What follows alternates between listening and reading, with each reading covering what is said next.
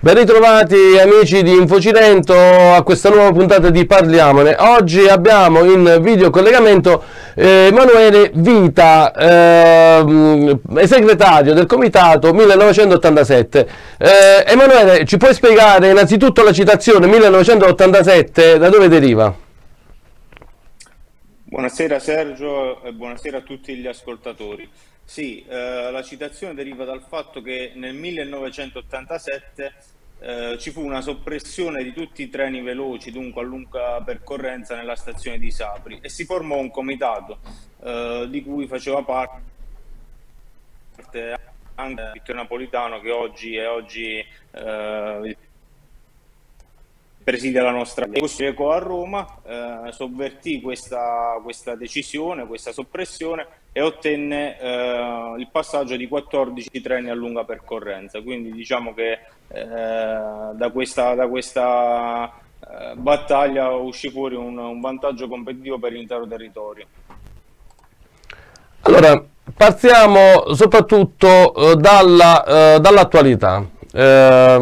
Il comitato si sta eh, ovviamente eh, premunendo eh, dietro i fatti eh, che stanno accadendo, cioè vale a dire eh, Trenitalia ha deciso di punto in bianco di eh, cancellare ma, Capri così come tutto il Cilento costiero dalla rete dell'alta velocità forse siamo stati pure noi i primi a, um, a fornire il documento uh, iniziale, uh, però come mai, come, che cosa sta accadendo? Diciamo, facendo un percorso sullo stato dell'arte, la situazione è questa. Uh, attualmente la decisione sembrerebbe presa, ovvero il nuovo tracciato di alta velocità, così come voluto dal PNRR, quindi il Piano Nazionale di Ripresa e Resilienza, eh, attraversato a Battipaglia provenendo da Salerno, scenderà nel Vallo di Diano e seguendo il tracciato autostradale proseguirà verso Praia Mar.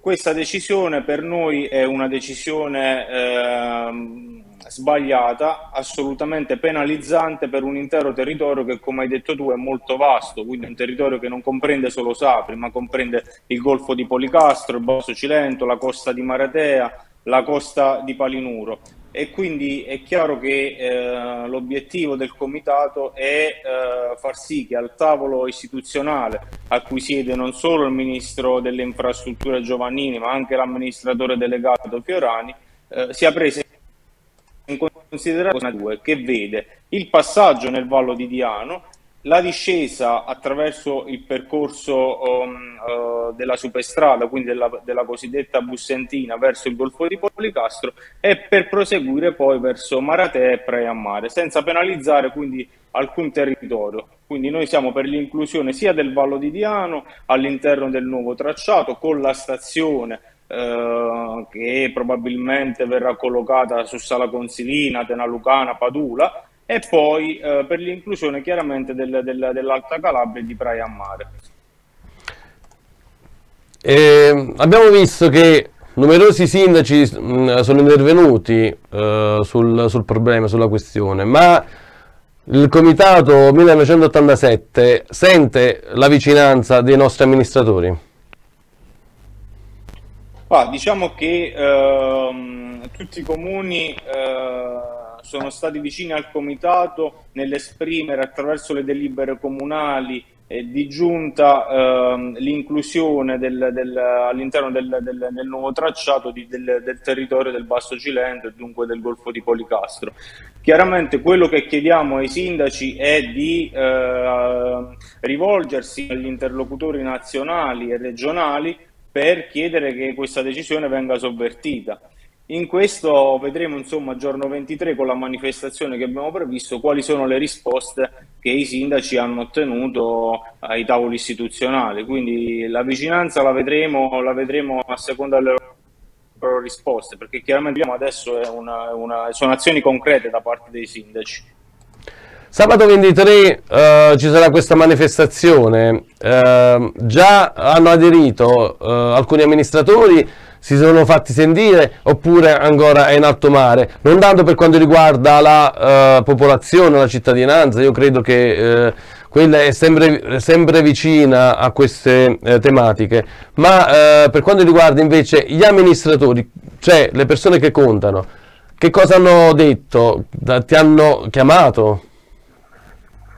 Allora, diciamo che innanzitutto partirei dai cittadini. Ci sarà una partecipazione popolare con il coinvolgimento delle scuole, delle associazioni di categoria, delle associazioni commercianti, delle associazioni del turismo.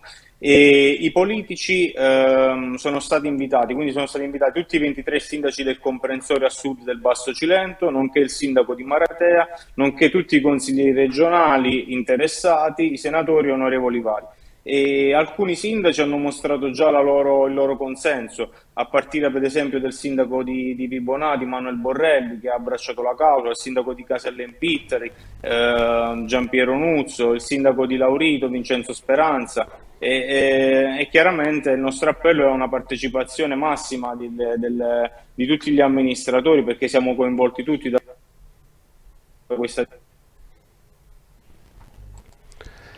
Mm, quello che eh, ho sentito, molti amministratori, soprattutto politici, dicono che eh, forse, eh, proba anzi probabilmente questa eh, alta velocità non verrà più data al Cilento e quindi eh, però Uh, c'è una contropartita, cioè i treni veloci mh, mm, ne passeranno di più, eh, sia qui da Agropoli fino a Sapri, ma anche, anche le vie, uh, le bretelle saranno maggiori rispetto a quelle che uh, sono prima, erano prima. Ma secondo te vale la pena giocarci la, ehm, la carta dell'alta velocità oppure è, è, bene invece avere questa contropartita?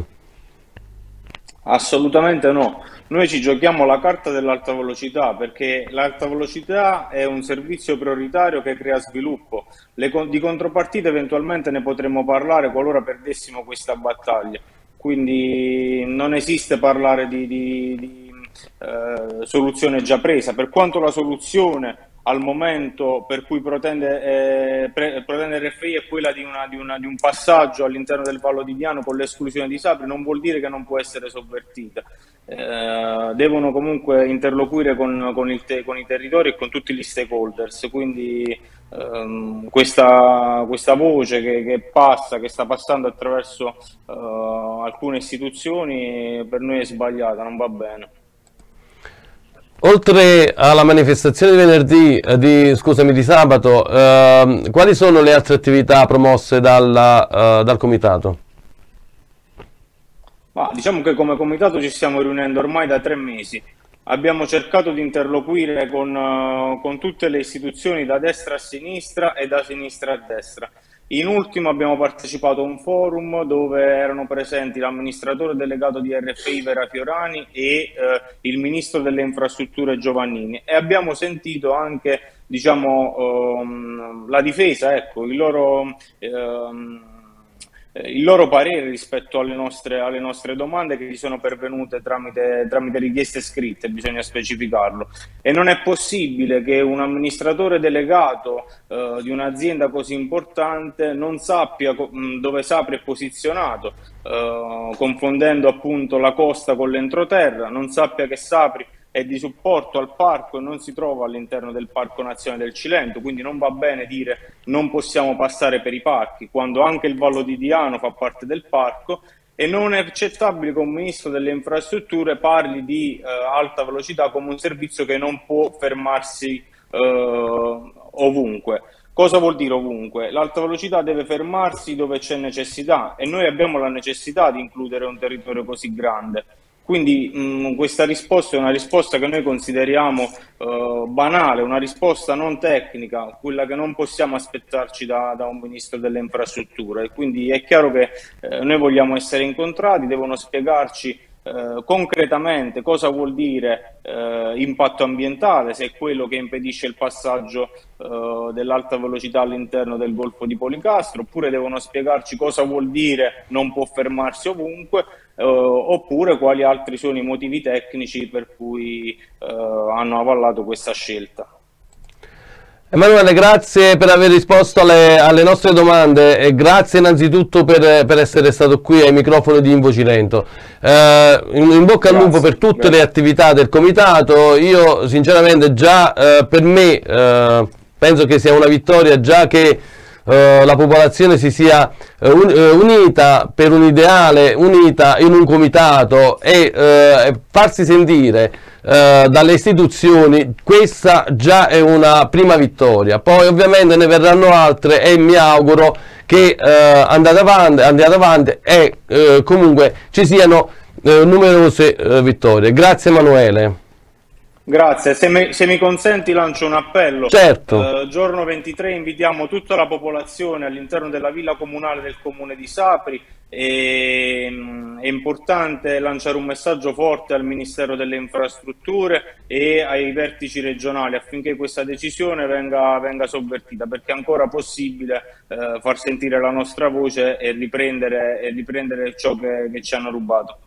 Ovviamente anche Infocirendo sarà lì eh, a sostenervi. Grazie ancora. Grazie, grazie per quello che farete.